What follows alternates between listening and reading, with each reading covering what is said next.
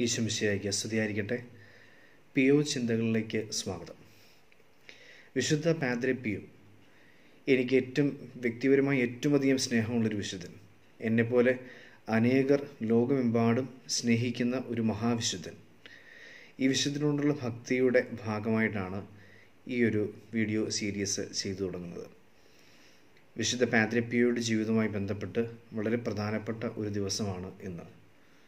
കാരണം ആയിരത്തി തൊള്ളായിരത്തി മൂന്ന് ജനുവരി മാസം ഇരുപത്തി രണ്ടാം തീയതിയാണ് വിശുദ്ധ പാദ്രപ്പിയോ തന്റെ സന്യാസ വസ്ത്രം സ്വീകരിച്ചുകൊണ്ട് ഫ്രാൻസിസ്കോ എന്ന പേരിൽ അറിയപ്പെട്ടിരുന്ന അദ്ദേഹം പിയോ എന്ന പേര് തനിക്ക് ഇഷ്ടമുള്ള ഒന്നാം പിയൂസ് പാപ്പായോടുള്ള ബഹുമാനാർത്ഥം സ്വീകരിക്കുന്നത്.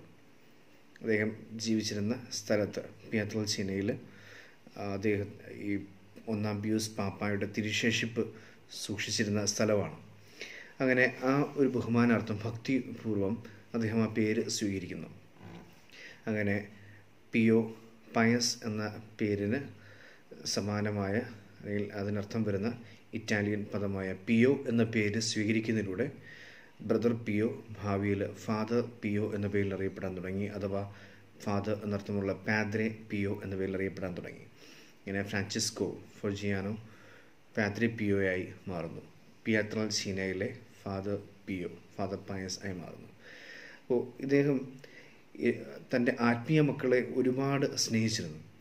കണ്ട ഒരുപാട് ആത്മീയ മക്കളുണ്ടായിരുന്നു താനും അദ്ദേഹത്തിന്റെ മരണശേഷവും അദ്ദേഹം ആത്മീയ മക്കളെ സ്വാഗതം ചെയ്തിരുന്നു. അദ്ദേഹം പറഞ്ഞിരുന്ന ഇപ്രകാരമാണ് എന്റെ ആത്മീയ മക്കളിൽ മകൻ അല്ലെങ്കിൽ മകൾ അവരിൽ അവസാനത്തെ ആളും സ്വർഗ കവാടം കടക്കുന്നത് വരെ ഞാൻ സ്വർഗത്തിന്റെ വാതിൽക്കൽ അവർക്കായി കാത്തു നിൽക്കും. അങ്ങനെ ഒരു വലിയ വാഗ്ദാനം തന്നിരിക്കുന്ന വിശുദ്ധനെ നമുക്ക് കാണാൻ സാധിക്കും. കൊശ്രേസ്യ പുണ്യവതിയെക്കുറിച്ച് പറയാറുണ്ട് സ്വർഗത്തിലിരുന്നു കൊണ്ട് ഞാൻ റോസാ പുഷ്പങ്ങൾ അനുഗ്രഹങ്ങൾ നിങ്ങളിലേക്ക് വർഷിക്കുമെന്ന്. അത് സമാനമായ രീതിയിൽ സ്വർഗത്തിന്റെ വാതിൽക്കൽ ഞാൻ നിങ്ങൾക്കായി കാത്തു നിൽക്കും എന്ന് പറഞ്ഞ പുണ്യവാനാണ് വിശുദ്ധ പാദ്രപ്പിയോ പാദ്രപ്പിയോ എന്ന് പറയപ്പെടുന്ന വിശുദ്ധനെക്കുറിച്ച് നമുക്ക് ഇനിയും അനേകം കാര്യങ്ങൾ ചിന്തിക്കാം. അതിന് തുടക്കമെന്നോണം. വിശുദ്ധന്റെ ആത്മീയ മക്കളായി മാറുവാനുള്ള ആഗ്രഹം നമുക്കുണ്ടാവുന്നത് നന്നായിരിക്കും.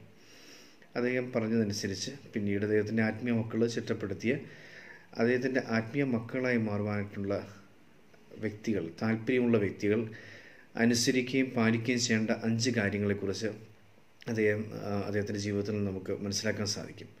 ഒന്നാമത്തേത് live intensively a life of divine grace. ദൈവിക കൃപയുടെ ജീവിതം ഭംഗിയായി ജീവിക്കാൻ ശ്രമിക്കുക. രണ്ടാമത്തേത് prove the faith by words and actions. നിന്റെ വാക്കിലൂടെയും പ്രവൃത്തിയിലൂടെയും നിന്റെ വിശ്വാസം നീ പ്രകടിപ്പിക്കുക. നീ വിശ്വാസത്തിന് സാക്ഷിയാകുക. മൂന്നാമത്തേത് desire to remain under the protection of saint Pio and to enjoy the fruits of his prayer and suffering. നിരന്തരം വിശുദ്ധ പാദ്രപ്പിയോയുടെ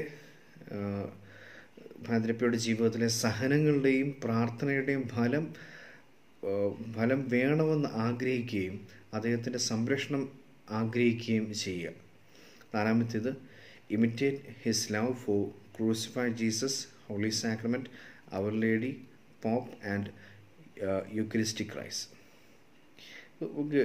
അദ്ദേഹത്തിന്റെ ഒരു വളരെ പ്രധാനപ്പെട്ട കാര്യമാണ് പറയപ്പെടുന്നത്. യേശുവിനോടുള്ള വലിയ സ്നേഹത്തിനായിരിക്കുവാനായിട്ട് അദ്ദേഹം ചെയ്തിരുന്ന കാര്യങ്ങൾ അനുകരിക്കുക. ക്രൂശിതനായ യേശുവിനോടുള്ള സ്നേഹം പരിശുദ്ധ ദിവ്യകാരണത്തോടുള്ള സ്നേഹം പരിശുദ്ധ കന്യകാമറിയത്തോടുള്ള സ്നേഹം തിരുസഭയോടും തിരുസഭയുടെ പരിശുദ്ധ പിതാവിനോടുമുള്ള പാപ്പായോടുമുള്ള സ്നേഹം. ഇത്രയും സ്നേഹം ഉള്ളിൽ സൂക്ഷിക്കുന്ന വ്യക്തി വ്യക്തിക്ക് പാതൃപ്പിയുടെ ആത്മീയ മകൻ അല്ലെങ്കിൽ മകളാകാൻ സാധിക്കുകയുള്ളൂ എന്ന് പറയപ്പെടുന്നുണ്ട്. അഞ്ചാമത്തേത് practice sincere charity towards others ആത്മാർത്ഥതയുള്ള സ്നേഹം ചാരിറ്റി മറ്റുള്ളവരോട് പ്രകടിപ്പിക്കാനായിട്ട് ശ്രമിക്കുക.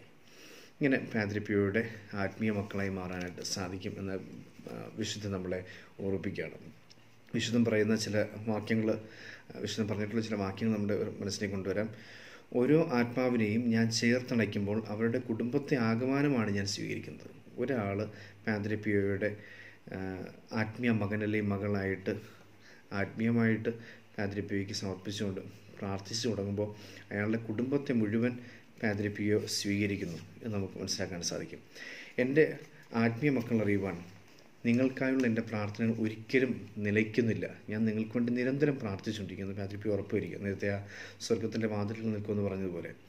വീണ്ടും പറയുന്നു എന്റെ ആത്മീയ മക്കളിൽ ആരെങ്കിലും വഴിതെറ്റിപ്പോയാൽ എന്റെ അജഗണത്തെ വിട്ടിട്ട് ഞാൻ അവരെ തേടിപ്പോകും. എന്നൊരു നല്ല ഇടയന്റെ മനസ്സോടുകൂടി. ക്രിസ്തുവിനെ പോലെ അദ്ദേഹം ഇറങ്ങുമെന്ന് അദ്ദേഹം ഉറപ്പു തരികയാണ് ഇനി അദ്ദേഹം പറഞ്ഞ മറ്റൊരു സുന്ദരമായ വാക്യമുണ്ട്.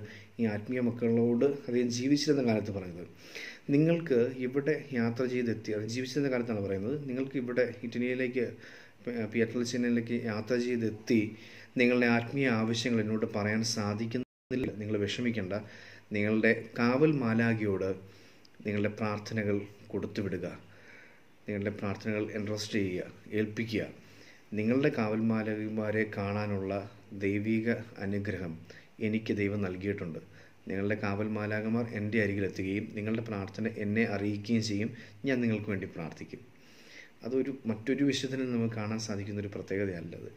നമ്മളുടെ കാവൽ മാലാകയോട് ഭക്തിയുള്ളവരായിരുന്നുകൊണ്ട് ആ കാവൽ മാലാകയോട് കാര്യങ്ങൾ പറഞ്ഞ് പാതിരപ്പിയെ അറിയിക്കണമെന്ന് പറഞ്ഞാൽ അവർ ചെന്ന് ആ മാലാക ചെന്ന് പാതിരപ്പിയെ കാണുകയും പാതിരപ്പിയെ അത് മനസ്സിലാക്കിക്കൊണ്ട് നമുക്ക് വേണ്ടി പ്രാർത്ഥിച്ച് നമുക്ക് അനുഗ്രഹങ്ങൾ വാങ്ങിച്ചു തരും നമുക്ക് ഉറപ്പ് വരികയാണ് വിശുദ്ധ പാതിരപ്പിയോയുടെ ആത്മീയ മക്കളാകുവാനായിട്ട് ഓരോരുത്തരെയും ക്ഷണിക്കുന്നു. അതിന്റെ വലിയ അനുഗ്രഹങ്ങൾ നമുക്ക് പ്രാപിക്കാനായിട്ട് ശ്രമിക്കാം. നമുക്ക് പ്രാർത്ഥിക്കാം.